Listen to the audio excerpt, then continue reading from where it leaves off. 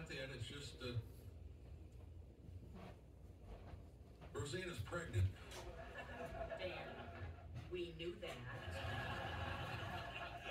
Yeah, maybe the doctor didn't though. You know, maybe uh, he thought she was just, you know,